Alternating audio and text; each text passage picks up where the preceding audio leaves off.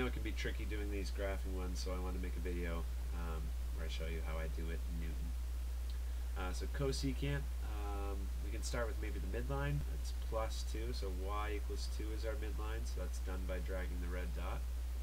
Uh, the amplitude is 1 half, so that means we should only go up to 2.5 for our first dot, so I'm going to drag that down.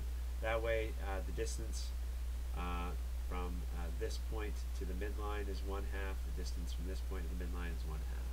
So take care of that 2, take care of that 1 half. Now the 2 on the outside, I actually got it here from a previous video, but the period for cosecant is 2 pi divided by b. In this case, we know the b is 2.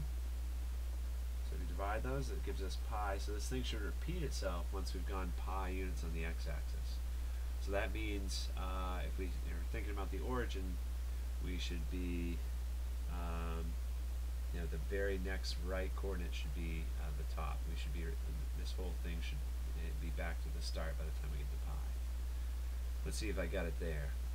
So we go, um, we have the u, and then we have like a long n, and then by the time we get to pi, we're back to having a u. So that adjustment with the black dot is the adjustment that I made according to the period for my graph.